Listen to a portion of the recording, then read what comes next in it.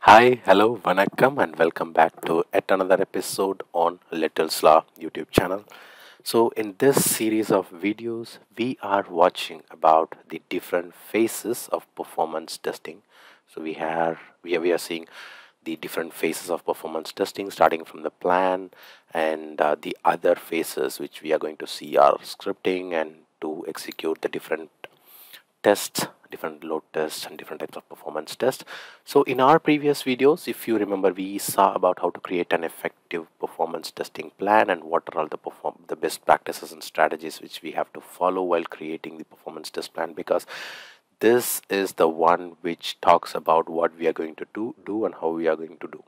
So now to continue in that video we are going to see about in this video we are going to deep dive into the basics or the fundamentals of the performance testing plan and the testing strategies which we are going to see.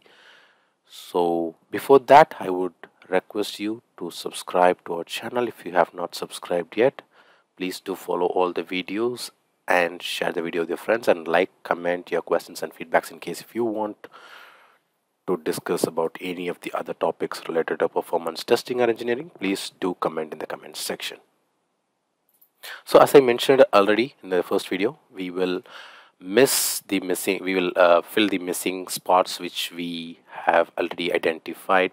So for now, uh, in phase 1 I don't have any points to fix and in phase 2 and phase 3 I'll have to update few things. So the first thing is we have to identify the scope i think which i have discussed that in my previous uh, video where i have discussed about the point scope so we have to identify or we have to clearly tell what comes under scope and what does not come under scope. So here we can clearly mention that these web applications or the scenarios and the API calls will be under the test or will be inside the scope. Let me highlight it. So these comes under the scope. And anything any testing or anything that comes out of this will come under the out of scope. So for example sometimes the team wants us to do some security testing or some functional testing or in case some user acceptance testing or user acceptance testing or any OAT which is operational acceptance testing. And these might be clearly confirmed before the start of the testing that these are not the scope of the testing. So we should clearly confirm that only these areas or the scripts or these functionalities will be under the scope and anything other than will be outside the scope. Say for example the team might come to us and say like you have the scripts ready with you.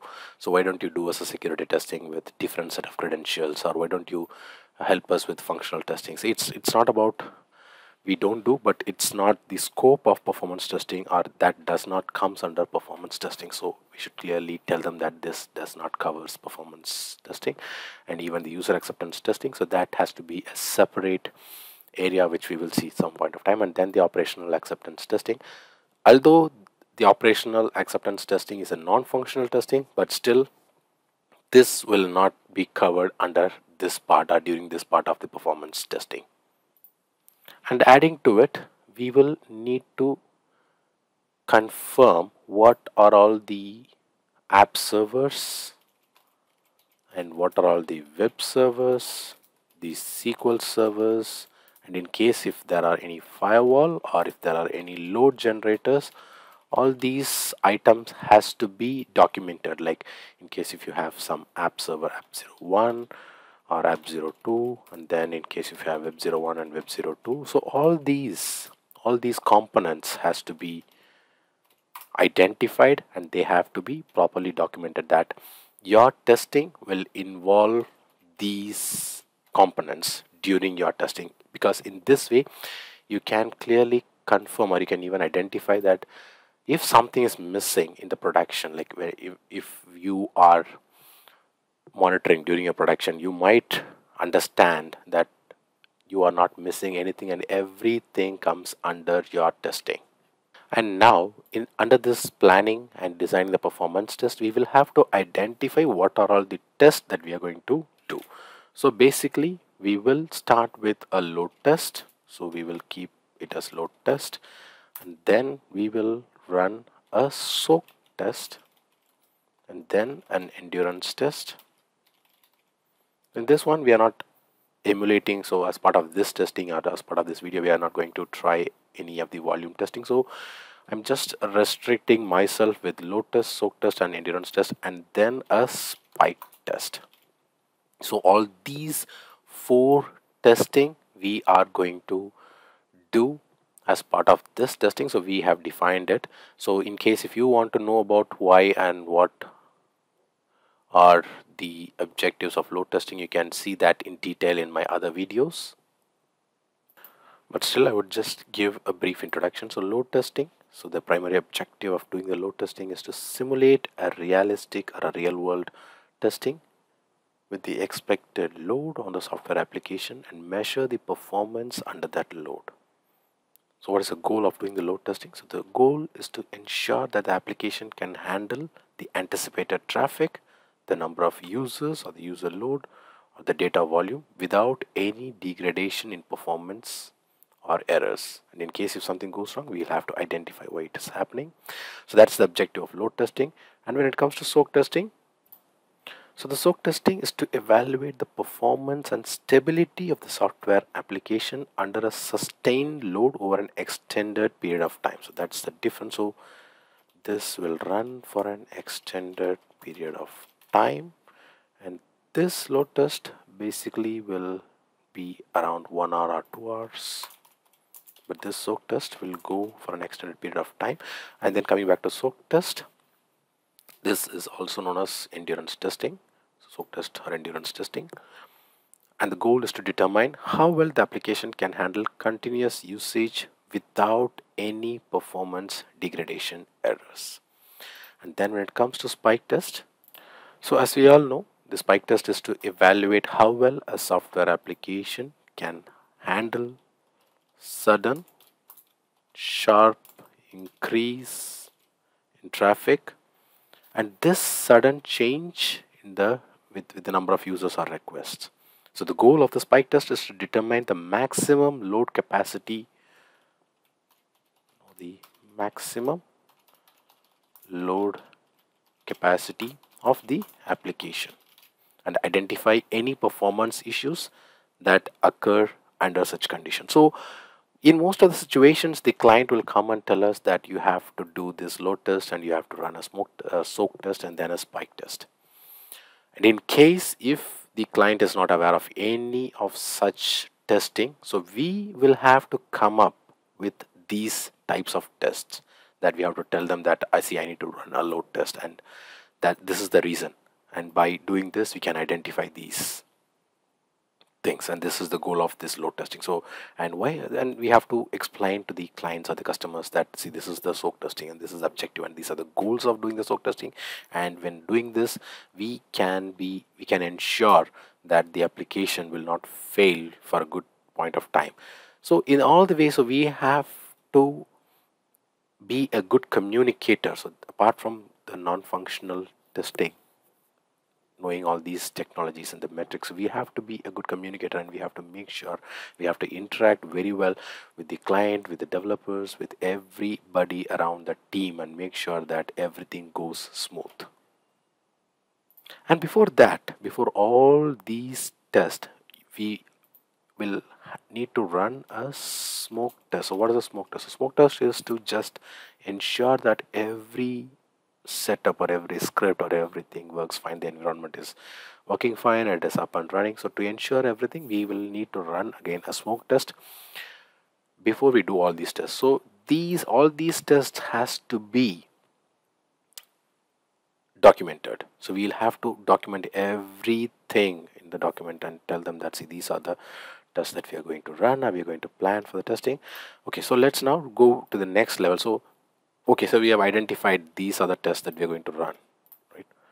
So now we will have to identify what is the load for these users.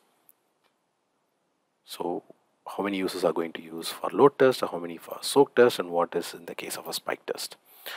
In some cases again i'm telling so there are like different types of clients you might come across when you're doing performance testing. Some clients are like they will have more experience on performance testing and how does it work. So for though if you work under those clients you are really gifted because you might get many inputs from them. But if you are working under a person who is new to performance testing then it's a great challenge and that is where you get a very good learning curve because you get yourself educated and you can keep the other stakeholders informed and let them know that these are the things which are going to get involved in the testing. And in that way you make everybody around you to know the value of performance testing. Okay so in this case so I take for, for the for the first example I'm taking this as scenario one.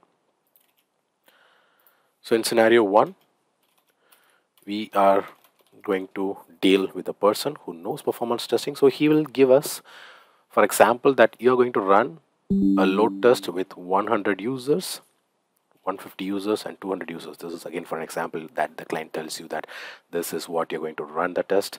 So you will need to run a load test with 100 users 150 users and then 200 users. So this is again going to be 100 percentage of the load test 150 percentage of the load test and then again 200 percent of the load test. So this is again we are going to scale the load and then when it comes to soak test so this is going to be a long or an extended duration of test. So we will need to reduce the user load. So how much we have to reduce? So we will have to reduce the actual user load from 100 percentage to 40 percentage which means for example this 100 users you will run for one hour or for two hours.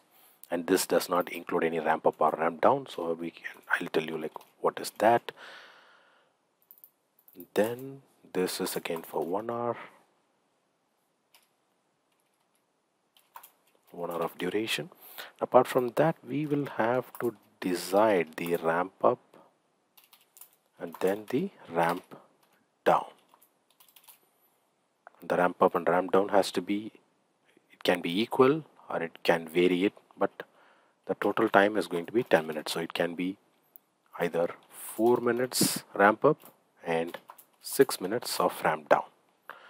Then when it comes to soak test so as I already told you so it has to be 40 users where we're going to run it for 8 hours. Same case here it should be 60 users for 8 hours.